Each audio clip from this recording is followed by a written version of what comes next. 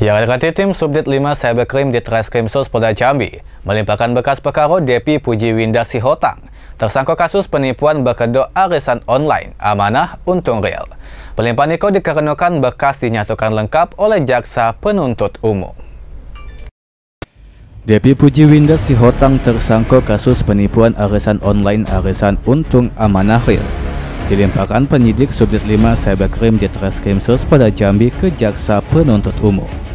Kasubdit 5 Cybercrime di Treskrimsus pada Jambi AKBP Wahyu Berap saat dikonfirmasi mengatakan bahwa pihaknya telah melimpahkan untuk tersangka Depi ke pihak kejaksaan beberapa waktu lalu. Saat itu statusnya sudah menjadi tahanan jaksa.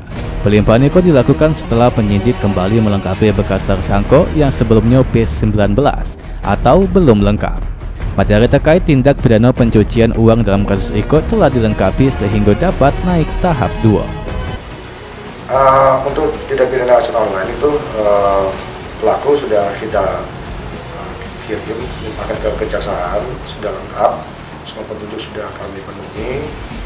Uh, dan apa uh, dan selanjutnya uh, tinggal menunggu uh, persidangan.